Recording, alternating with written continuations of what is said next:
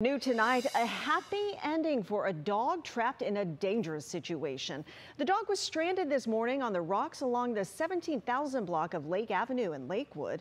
Concerned neighbors called the Lakewood Fire Department for help and crews were able to use an inflatable raft to safely rescue the animal, which didn't appear to be hurt.